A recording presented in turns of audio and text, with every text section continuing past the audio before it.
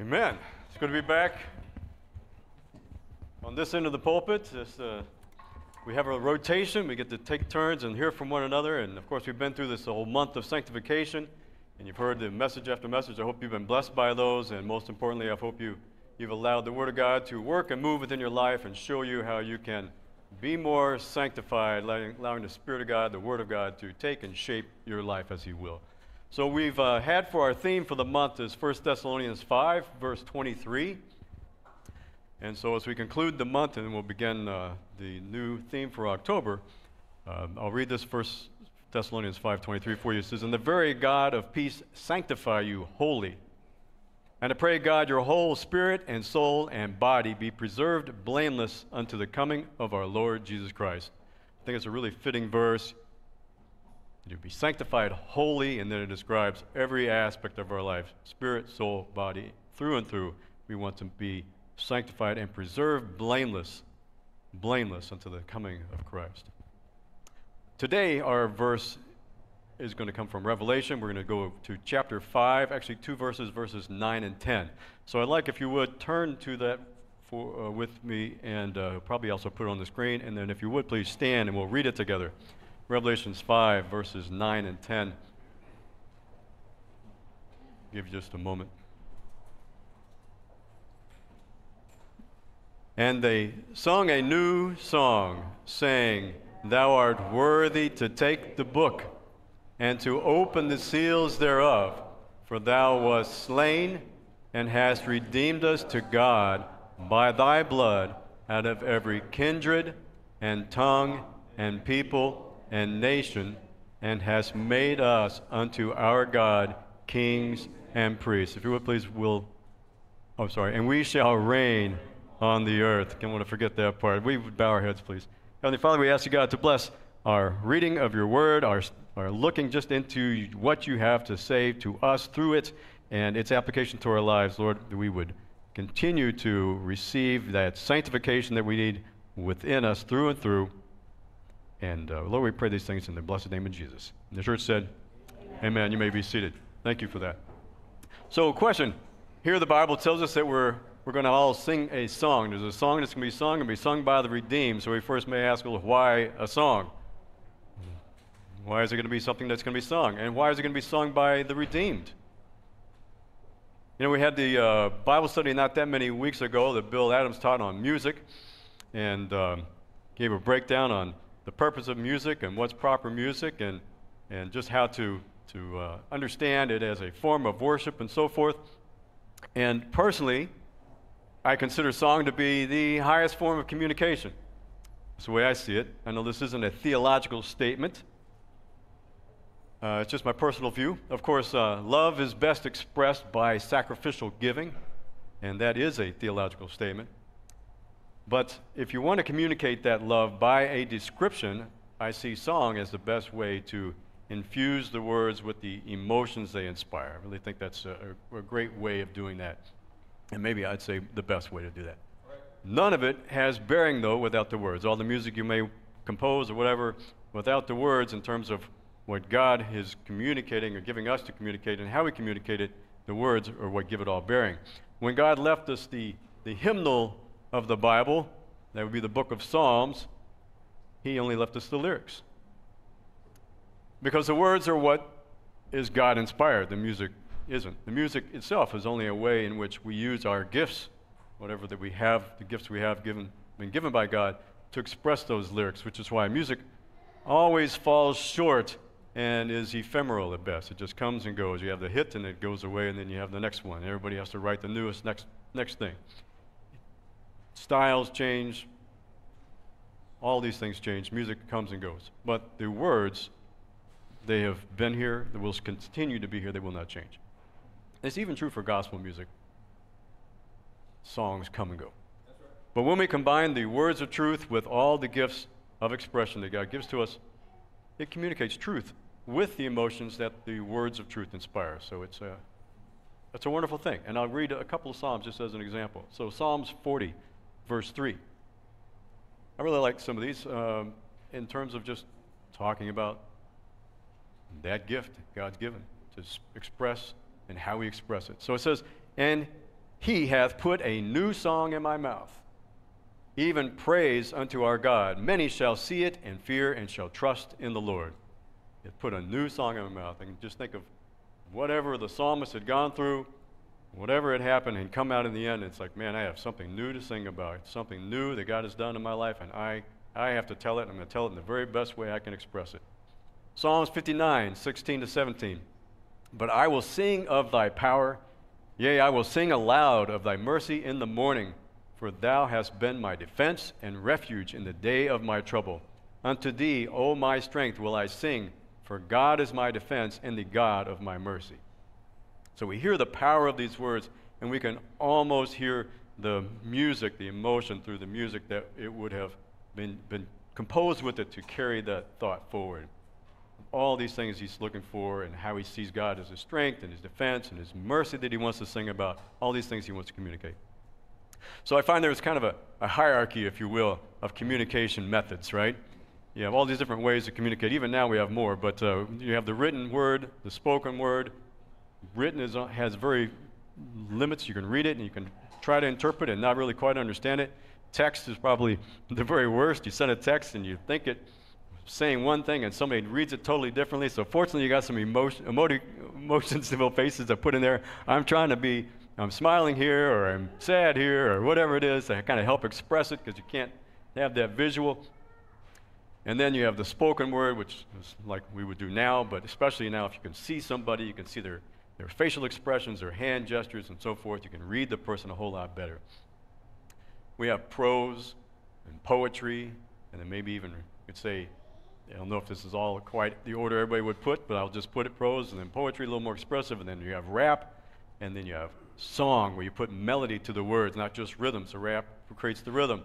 And then song with accompaniment, or any of these things with an accompaniment. When you add the chords and rhythm and coordination with the harmony and the ti- timing, it brings all the multiple elements together into one, what we call a symphony, and becomes something truly beautiful. We might even say something heavenly. But when we put the emphasis, if we should, put it on the music over the message and just focus on the music alone, then the artist and the artistry becomes worshiped. We start to focus on that instead of the words. And often the, the Holy Spirit is, is, we think of emotion and we feel the emotion, we start to attribute it to the Holy Spirit, and, it, and then we can actually be moved away from what the Word of God says and take our focus off of those things and start getting wrapped up into the emotion.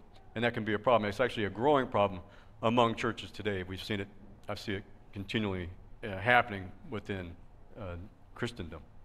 And this is why John doesn't just describe song, but the song of the redeemed specifically. It's not just music. He's saying, hey, there's a song, we can all sing it, let's all just jump in. The song of the redeemed, they have a special message to convey. And that's what we want to look at. So we have an example several examples, but I want to focus on one. This is an example that we have from Moses after the Israelites were delivered from captivity in Egypt. So I'm going to read a lengthy section, but it's a song, the lyrics to a song, song written by Moses, and it's found in Exodus 15. And I'm just going to read through 1 to 21. Of course, you know the setting. They just got delivered out of Egypt, they crossed the Red Sea, and so here it is. Then sang Moses and the children of Israel this song unto the Lord. Now, where it says Lord, I said I wouldn't comment, so I'm just going to make one, one oh, excuse here. The Lord, when it says Lord in bold letters, we know that's the word Yahweh. And it's because he's talking about the name, I'm going to say Yahweh just for the sake of you hearing it as a name instead of just a title, all right? So bear with me as I do it. And spake, saying, I will sing unto Yahweh, for he hath triumphed gloriously. The horse and his rider hath he thrown in the sea. The Lord is Yahweh is my strength and song, and he is become my salvation. He is my God, and I will prepare him an habitation, my father's God, and I will exalt him. Yahweh is a man of war. Yahweh is his name. So I had to use that to get that verse across. Pharaoh's chariots and his host hath he cast into the sea.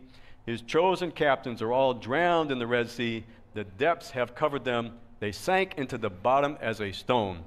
Thy right hand, O Yahweh, has become glorious in power. Thy right hand, O Yahweh, hath dashed in pieces the enemy. In the greatness of thine excellency, thou hast overthrown them that rose up against thee. Thou sentest forth thy wrath, which consumed them as stubble, and with the blast of thy nostrils the waters were gathered together. The flood stood upright as an heap, and the depths were congealed in the heart of the sea. The enemy said, I will pursue, I will overtake, I will divide the spoil, my lust shall be satisfied upon them. I will draw my sword, my hand shall destroy them. Thou didst blow with thy wind, the sea covered them. They sank as lead in the mighty waters. Who is like unto thee, O Yahweh, among the gods? Who is like thee, glorious in holiness, fearful in praises, doing wonders? Thou stretchest out thy right hand, the earth swallowed them. Thou in thy mercy hast led forth the people, which thou hast redeemed. Thou hast guided them in thy strength unto thy holy habitation. The people shall hear and be afraid. Sorrow shall take hold on the inhabitants of Palestina.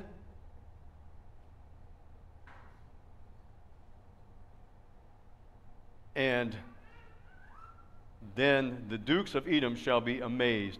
The mighty men of Moab, trembling, shall take hold upon them. All the inhabitants of Canaan shall melt away. Fear and dread shall fall upon them. By thy greatness of mine arm, they shall be as still as a stone, till thy people pass over, O Lord, till thy people pass over, which thou hast purchased. Thou shalt bring them in and plant them in the mountain of mine inheritance, in the place, O Lord, which thou hast made for thee to dwell in, in the sanctuary, O Lord, which thy hand have established. The Lord shall reign forever and ever. So here's that song. You can see all the things that he's putting in there to describe the deliverance that has taken place. And singing this with the people, and it was the congregation that was joining in and singing them, singing it with them. And so you can see it wouldn't have been the same if it had just been music or whatever. He was telling a specific story about a specific event, about what God has done and who He is and what His name is. So it goes on back with the narrative in verse 19. It says, For the horse of Pharaoh went into his chariots and with his horsemen into the sea, and the Lord brought again the waters upon the sea of the sea upon them. But the children of Israel went on dry land in the midst of the sea. Now after this, Miriam, who is Moses' sister, repeats Moses' song. In the text, it only quotes the first line, but you can get the idea that he's saying that she goes back and they all start to repeat this song and sing it. So we can assume he, she did the whole thing, adding an instrument, the timbrel, which would be like a little drum, like our, maybe our, um, our tambourine with the skin on the front. And then the women, they joined in, and they joined in at a dance.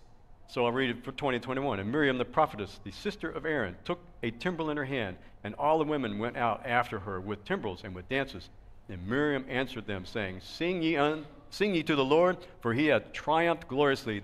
The horse and his rider hath he thrown into the sea. So Moses' song and the words of that song were so inspiring that they became an instant hit right then and there.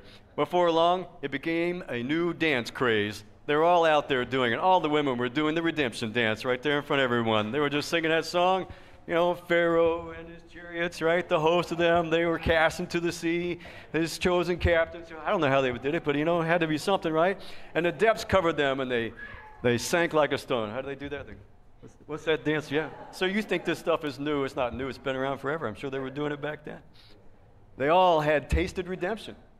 Every one of them. They all tasted it. They all wanted to sing this song. It wasn't somebody who was just hanging out on the shoreline when they got across the other side and goes, hey, that looks like a neat one. I think I'll jump in and do that one. I haven't seen that one before. No, no one was joining in who didn't know what redemption was. The story, the lyrics was the inspiration for the song, and the dance, not the other way around, okay? The story, the lyrics, they inspired the song, they inspired the dance. The song and the dance didn't inspire words. And many songs today, lyrics don't even make sense. You ever notice that? You just throw something in there randomly. It sounded good, we threw it in there. We didn't know what it was really talking about. when a man, though, falls in love, he doesn't reveal his heart to his love via text.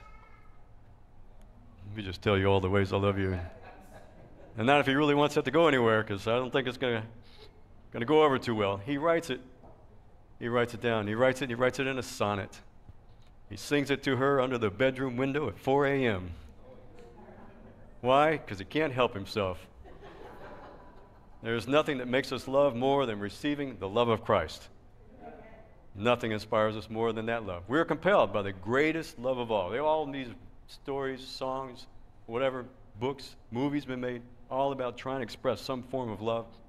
They can never outdo the gospel message. In many ways, they try to mimic it, try to kind of repeat it some other way, taking God out of it, but it just can't do it. Because no matter what, no matter who you have lay down their life for somebody else, they're all human just like you and me.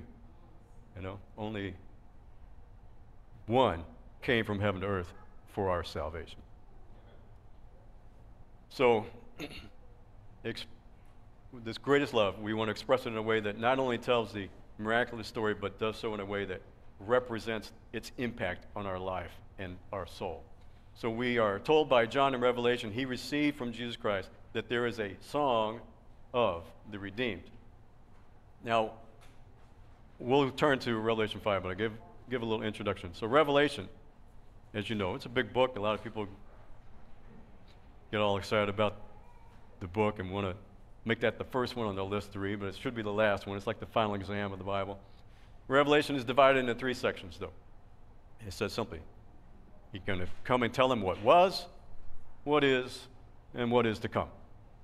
Chapter, chapter 1 describes what was, talking about Jesus' death, burial, resurrection, and taking the keys of death and hell. Chapter 2 to 3 describes what is, speaking to the seven churches of Asia. And then chapter 4 describes what is to come. So I'm not going to read chapter 4, but I'm going to give you a, little overview. Overview. I was it's set to set the stage for chapter 5. Um, so I have to read though first verse chapter verse 1 of chapter 4. It says, "And after this I looked, John speaking, and behold, a door was open in heaven." So this is right after he talked about the seven churches in Asia and the message that, that Jesus had for them. Then he says, "Then after this I looked, and behold, a door was open in heaven, and the first voice which I heard was it were of a trumpet talking with me, which said, Come up hither, and I will show thee which things must be hereafter. So, chapter 4 begins with John hearing the voice of a trumpet that calls him into God's throne room. Are you with me? Now, if you're, if it should be like I mean, if we really understand this, I, I want to just kind of reiterate it a little bit, but so nobody misses the point here. John heard a voice like the sound of a trumpet and is caught up into heaven before God's throne room. Isn't this describing the blessed hope and our expectation today? To hear that trumpet sound and be caught up into heaven. So here's where John finds himself. He's there and he's in God's throne, throne room before his royal court sets the stage and describes this whole thing. Here is the throne and all these things that specifically, specifically says. There is the throne, and there's one sitting on the throne whose description is uh, described as someone who is glorious, and with him is the symbol of Yahweh's covenant, the rainbow over the people, so letting us know this is Yahweh on the throne. And around his throne there are 24 additional thrones upon which sit 24 elders, and they're all crowned with crowns because they are co reigners with him, as it says, they will reign with him um, as priests and kings. And um, there are also four creatures, heavenly beings, whose description resembles the creatures on the earth described in the creation story. It's talking about a lion, um, a uh, bull, a man, and an eagle, describing animals like we would see on the earth during the creation story. It also um, symbolizes, or uh, sorry, references to us or brings to our mind Isaiah 6 3, where we see similar beings described okay? And and where they're, where they're, proclaiming God's glory that fills the earth. So we get this idea of these creatures praising God uh, day and night. That's what it says that they do, and it gives us a picture of all creation, all creation giving glory to God. Here we are in heaven. We're seeing all creation giving glory to God. And isn't that true of creation that it does this? Uh, Romans 1:20 tells us that creation declares God's eternal power and Godhead, even the creation that we see. And so here he is in heaven. He's seeing this in this in his royal throne room. And as these creatures cry, Holy, holy, holy, and so forth, the 24 elders, they fall down, they worship before the throne, they glorify him too. So in this throne room, God has given glory for his creative power. given glory for his creative power, as opposed to the throne rooms of the world we have around us today, or that have always existed on the earth, where the person who sat on that throne is always given glory for their destructive power, their ability to conquest, to conquer, to take over, to rule, to dominate. But God has given glory for his creative power. And as of yet, in all this glorious assembly, is there anybody singing? Uh, still not yet. Still not singing. So let's go to Revelation chapter 5, okay? It says, And I saw in the right hand of him that sat on the throne a book written within and on the backside, sealed with seven seals. A scroll, really, a book being a scroll of the time. It's actually a, an epistograph, if you wanted to have the term. It's a parchment written on both sides and was often used in official business. So it's written on the front and written on the back. Scrolls were rolled up and they would be sealed with seals. And the only person who could break the seal was somebody who had the proper authority to open that seal. And so here it was, sealed off with seven of them. It says, And I saw a strong angel proclaiming with a loud voice, Who is worthy to open the book and to loose the seals thereof? It's like, Who is worthy? The angel himself is powerful, speaks with a long, strong voice of authority, and yet he looks for somebody else to open the scroll because he himself won't do it. No man in heaven, nor in earth, it says in verse 3, neither under the earth was able to open the book, neither to look thereon. So the search is made. It's made, but to no avail. They looked into heaven. If it were today, they may search up all the way to those poor souls trapped in the space station. You know, can you help us? And they're like, no, we're stuck up here. Oh, can you open the pod bay door? No. Okay. They searched the entire earth for someone to open it. So in the heavens, they couldn't find it. In the earth, they searched there. If they had searched again today, maybe they're looking to Bill Gates, George Soros, the Pope, maybe even a lot of pastors. They probably wouldn't even want it opened. And we don't want the sealed judgments opened up. I think we're okay as we are. If our search was made among our dear seasoned saints, there still wouldn't be anybody who would be able to open it. So they looked in the earth, in the earth, in the grave, among all who had ever lived since the creation of all the earth. If the search could have been done to include people that we would know, they would have looked, found Buddha. They would have found Muhammad. They wouldn't have been able to open it. They would have found Abraham, David, some of the apostles. They wouldn't have been able to open it either. If they had searched any of us today, no one would be able to open it. No one has hands clean enough to open it, to even touch it. No one has eyes clean enough to look at it, it said. Paul describes the state of man in this way in Romans 7 21 to 24. He says, I find then a law that when I would do good, evil is present with me. So we have this dichotomy of things. We're trying to do good, we want to do good, but we have a nature. That nature is sin. That sin prevents us from opening those judgments. It says, For I delight in the law of God after the inward man, my soul, spirit, I, spiritually, I want to do these things. But I see another law in my members warring against the law of my mind and bringing me into captivity to the law of sin which is in my members. O wretched man that I am, he cries, who shall deliver me from the body of this death? And this is where we all reside. O wretched man that I am, we can all say it, you know, who shall deliver me from the body of this death? This is our pain and agony every day. This should be what's driving us every day to seek God. We're all in need of redemption from our sins. So in verse 4, back in, in Revelation, says, John says, And I wept much, because no man was found worthy to open and to read the book, neither to look thereon. John wept much. There is a word in the Greek which means to cry silently, you know, to just kind of sniffle a little bit about something, be a little upset about it. But that's not the word that's used here. The word he uses means to bewail and to lament. John is sobbing. He is sobbing uncontrollably. God has called him up into heaven to reveal himself to John and his will. But they've reached an impasse. No one's able to open the scroll or even to look at it. He's sobbing. He's there, right there. Those who love God love His will, correct? We want to know His will so that we may know God more and to perform His will because we love it, right? So imagine John's anguish as his vision stops right there at this critical moment. He's up there, everything is happening, seeing all these things that he's seeing. The scroll is present to all that are there, but no one's able to open it. That'd be one thing, but I would say there's even more. God's will now seemingly lies in jeopardy. Because without anyone worthy to open the scroll, there is no way to reveal and advance God's righteousness and to exe- execute his redemptive work on the earth. So he's there, he's, what are we going to do?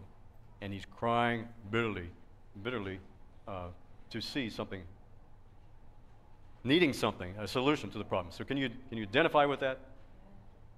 When you look at all the pain and the suffering in the world around you, do you ever ask, God, when will your righteousness prevail?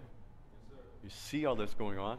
When you see all the injustice and wickedness seemingly performed without restraint, governments and empires destroying their own nations, economies, and the people who they, they've already enslaved just so they can gain more power, to do more wickedness.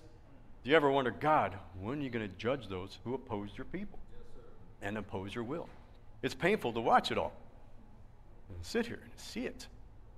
The other Sunday, I got choked up singing Daystar. I was in the middle of the song. I was like, you know, I, I didn't weep, bewail, but I maybe, you know, got a little watery, teary eyed. So it was that verse that says, The Lord, I see the world is dying, wounded by the master of deceit, groping in the darkness, haunted by the years of past defeat. And I thought of all those who need to know the grace of God, and it, it, just pained me to see what I know is happening, and I know is going to just get worse and worse on this earth as time ticks away towards God's return. So we long for God's righteousness, and we hate to see the people suffer.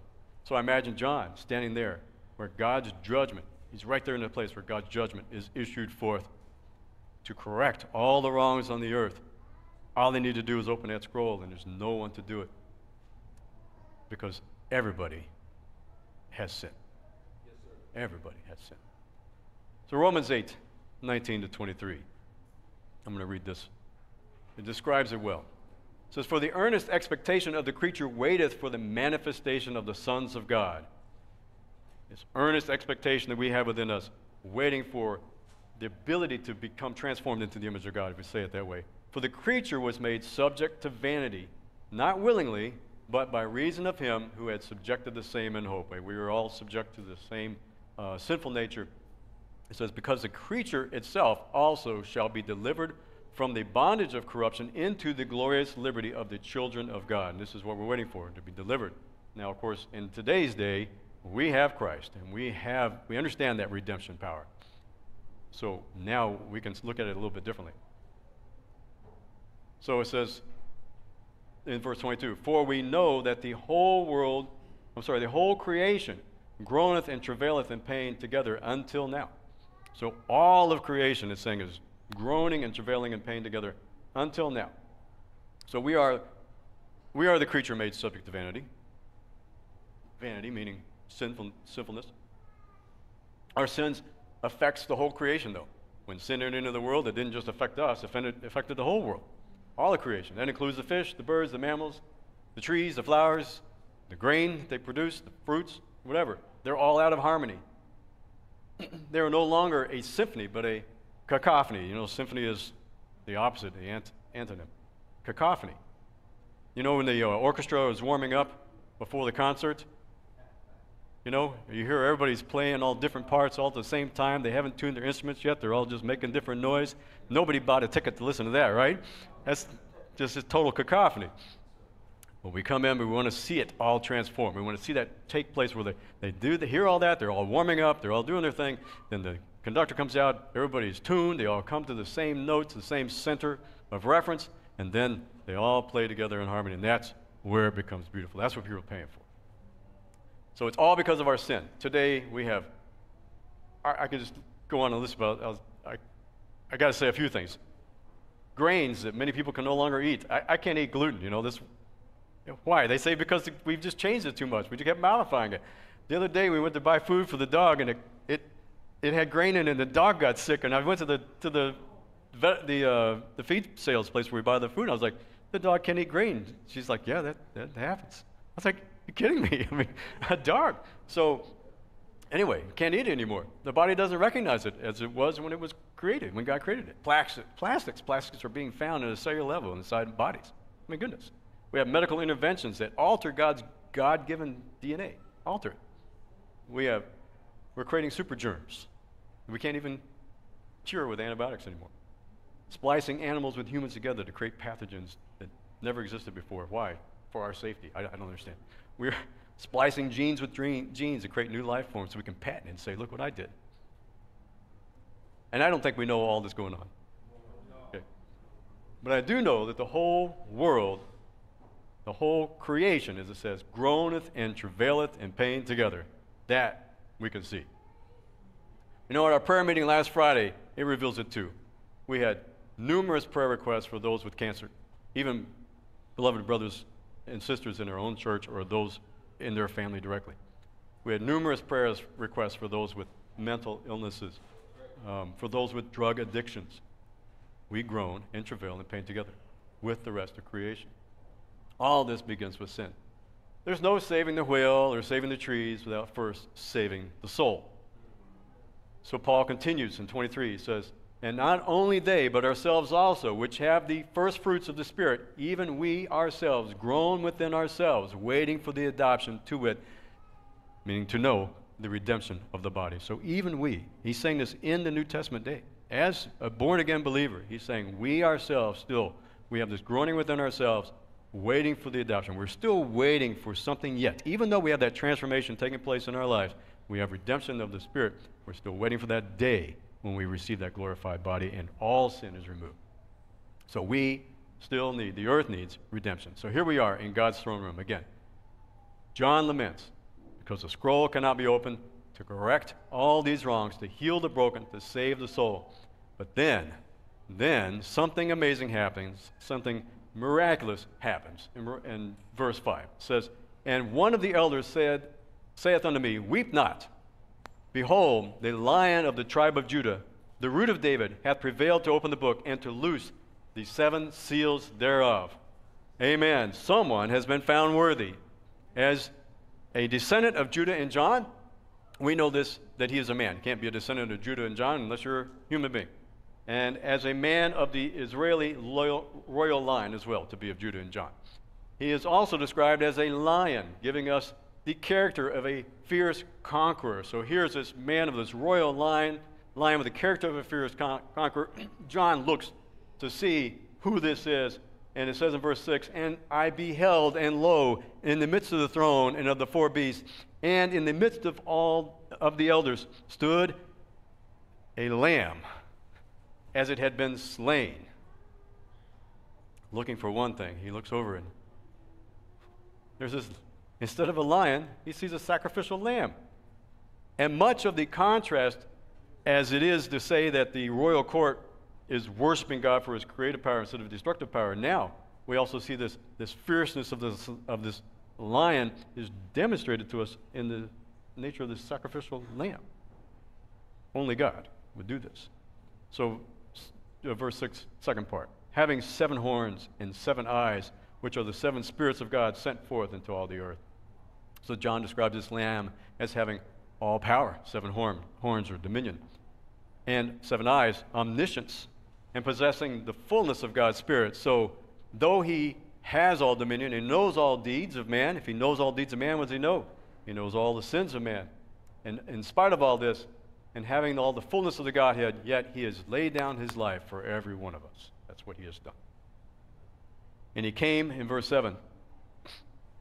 This lamb came and took the book out of the right hand of him that sat upon the throne. And when he had taken the book, the four beasts and the four and twenty elders fell down before the Lamb.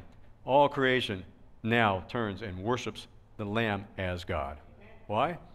because his sacrificial blood was payment for all our sins. You know, redemption, as we're talking about being redeemed, redemption is a financial term. It means to buy back. To buy back. You redeem whatever you put on loan for collateral. You buy it back. or to free from captivity by paying a ransom. You can redeem them back by paying a ransom to free somebody who's been captive. And because he redeemed us from the captivity of sin and paid us for the penalty of death, he's able to give us the power to be transformed into his image, which means to redeem us from our sinful state, to become his priests and kings in his royal court. Well, those who accept him and worship him, he cleanses us and sanctifies us, which is what we've been talking about so much throughout this month. He sets us apart for his will. Uh, second part of verse 8 having every one of them harps and golden vials full of odors or fragrances, which are the prayers of the saints. So it's telling us keep praying, church, keep praying. They are not lost, prayers are not dismissed. Every prayer is stored up in heaven. So now here is where we see the work of Christ in action across creation as we go back to our, our main verse. We go all the way down, we're now at verses 9 and 10. And they sung a new song. So here we have the four and twenty elders bowing down. They sung a new song, saying, Thou art worthy to take the book and to open the seals thereof, for thou wast slain and hast redeemed us to God by the blood out of every kindred and tongue and people and nation, and hast made us unto our God kings and priests, and we shall reign on the earth. So here's their song, and what they're singing. They're singing of what? They're singing of their redemption, of them being in this low state, waiting for their, say, execution in a sense, to be paying the price for the sin. And instead of that, God redeems them and sets them up as priests and kings. They have a song to sing, and they're going to sing it. They're not going to just talk about it. So here is where we see those in verse 24, uh, who they represent. It says that they are redeemed out of every kindred, that'd be every race, every tongue, which means every language, and every people and nation. They're all redeemed by Jesus' blood, coming out from among the people. Now, when the redeemed began to sing this new song, they are joined. We saw what happened with Moses. And Moses began to sing, and then the congregation, and then we said Miriam starts to sing, and then the, the women start to sing. We see this start to bring everything in together. Everyone starts to come into harmony. All the little elements that were maybe out of order and in cacophony are now coming into harmony and symphony, all starting with this redemption of what's brought to us by the, by the one who was able to open those seals. They're joined first by the heavenly host, verses 11 and 12. And I beheld, and I heard the voice of many angels round about the throne, and the beasts and the elders, and the number of them was 10,000 times 10,000s. You can start to do the math, but then he goes on, and thousands of thousands. I think we get the idea that, you know, let's just not even try to number these people. There's just so many angels there. Saying with a loud voice, Worthy is a lamb that was slain to receive power and riches and wisdom and strength and honor and glory and blessing. They're joining in the chorus. Amen. Then every creature on earth joins in. It says in verse 30, it says it and every creature which is in heaven. We talked about they searched in heaven, and on the earth. We talked about how they searched in the earth, and under the earth. We talked about how they searched under the earth. And he says, Such as are in the sea, and all that are in them, which I heard, I'm sorry, which, uh, sorry, heard I saying, Blessing and honor and glory and power unto him that sitteth upon the throne and unto the Lamb forever and ever. Amen. Amen. Then the four beasts, you're getting ahead of the four beasts. And then the four beasts, they finished it off. It says, The four beasts said, Amen. Amen. And the four and twenty elders fell down again. They fell down and they worshiped him that liveth forever and ever.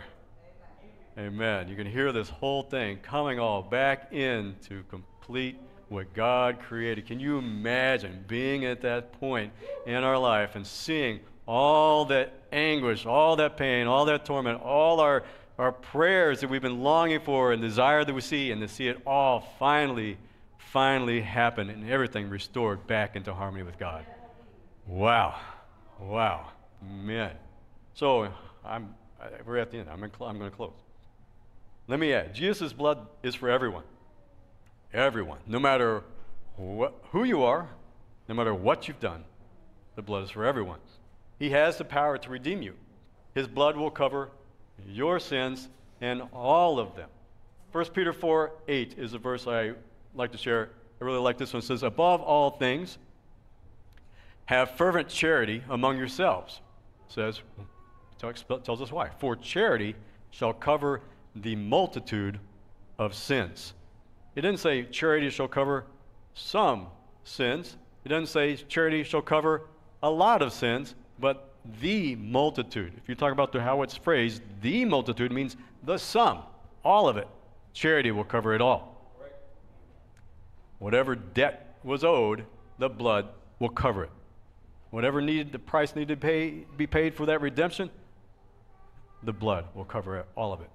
Everything you have committed, we are free from every force that once bound us, that ever oppressed us, that possessed us, that opposed us. All sin, all sin is covered by the blood. All demonic forces are subject to Christ who lives within us as well. It's not God's will that you sin so that you might testify of the power of grace, it says, right? We don't want to say, well, if that's the case, then the more I sin, the more I can testify of the power of grace. No, it says, God forbid, but it is God's will that sinners are saved so that they may testify of Christ's mercy and the power to save. So we're not looking to sin to, to receive more grace, but no matter what the sin is, God will use that to testify of the power of his blood to cover it. 1 Timothy 1 15 to 16. Last verse. This is a faithful saying and worthy of all acceptation. Everybody should accept it as a fact. That Christ Jesus came into the world to save sinners. Paul's writing, and he says, Of whom I am chief. Howbeit, for this cause I obtain mercy, that in me first Jesus Christ might show forth all long suffering for a pattern to them which should hereafter believe on him to life everlasting. What he's saying here is here's the facts. Here's the facts. Jesus came to save sinners. He didn't come to comfort us in our sins. He came to deliver us out of our sins. He doesn't want to say, hey, just go, it's going to be okay, it's going to be okay, you're okay, I'm okay. No, he came to deliver us out of those sins. But then he adds, of whom I am chief. Of whom I am chief.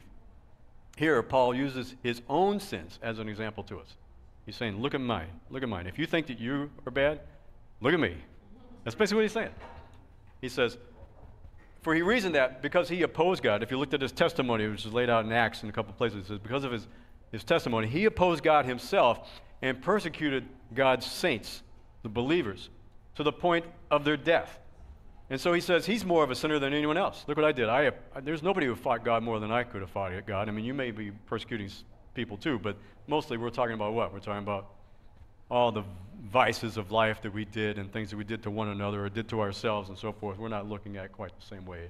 We don't see it as he, but he was like, he was directly assaulting God's kingdom and his people.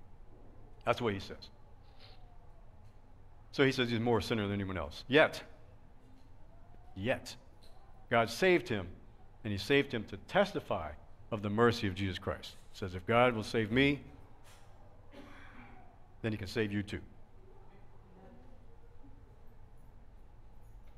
You may think that your sin is too great, that your addiction is too great, that your mental illness or other diagnosis is too great, but Christ stands ready to redeem you.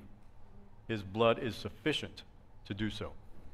The greater the sin, the greater the witness you become to Jesus and to his redeeming power.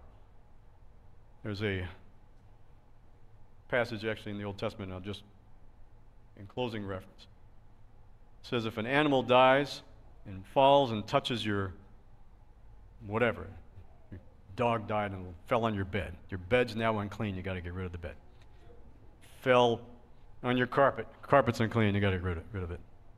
Fell on your clothes, your pottery, or whatever it is you had, you know, your vessels, you got to get rid of them.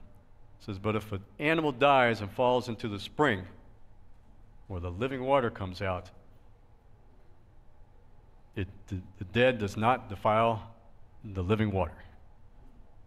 And what it's saying is that in, if we would take it and apply it today, the source of life is Christ.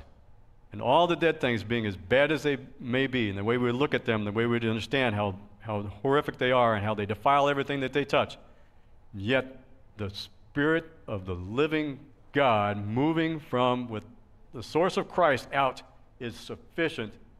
Nothing can defile it. Nothing. It instead cleanses everything that it touches. And that's how, that is how, no matter how bad that sin may be, the redemptive power of Christ is only going to get more glory because he's able to overcome it. We simply have to acknowledge him and His power and yield all those things back to Him and accept that covering for our, our souls. Amen, church. God bless you. God bless you.